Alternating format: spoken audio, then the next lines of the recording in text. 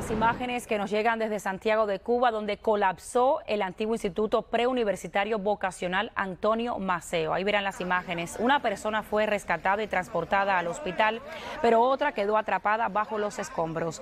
Las autoridades cubanas confirmaron que esta persona fue rescatada después con vida. Según medios independientes de la isla, estas personas se encontraban robando barras de acero.